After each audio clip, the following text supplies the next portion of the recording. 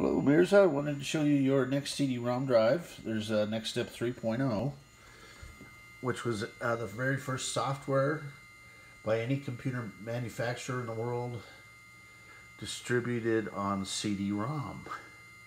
So here we have the nice Sony 1X. It is working, so I can highlight it here.